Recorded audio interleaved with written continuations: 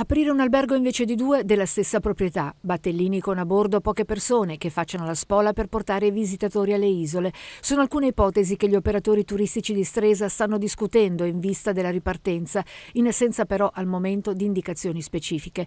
Lo riferisce il sindaco Giuseppe Bottini, sottolinea che comunque l'attenzione è ancora prima di tutto sul fronte sanitario e su quello dell'aiuto alle fasce più deboli della popolazione ed evidenzia anche l'importante rete di solidarietà che si è creata.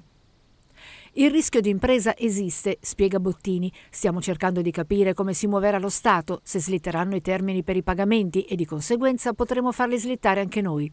Andremo comunque incontro ai commercianti, per quanto di competenza comunale. Avevamo anche già steso un bilancio che dovremo modificare. Il primo cittadino parla di una stagione ovviamente difficile da recuperare. Sarà necessario puntare sul pubblico locale, tutte disdette le prenotazioni arrivate dall'estero. Ci stiamo anche confrontando con la famiglia Borromeo. Verosimilmente non potremo usare i battelli con a bordo decine di persone. Pensiamo a piccole imbarcazioni con pochi turisti a bordo, modalità che però non risolve il problema del flusso turistico. Tutto è ancora un'incognita, conclude il sindaco. Alcune voci in città parlano di attività, una quindicina, che non riapriranno per l'impossibilità di coprire i costi con la stagione che si prospetta, ma nessuna conferma in questo senso giunge dall'amministrazione stresiana.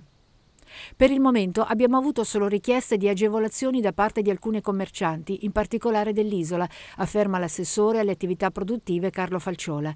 Il nostro comune da sempre ha un certo cambio di attività, che non riguarda però bar e ristoranti. È un fenomeno noto che quest'anno ha registrato qualche caso in più.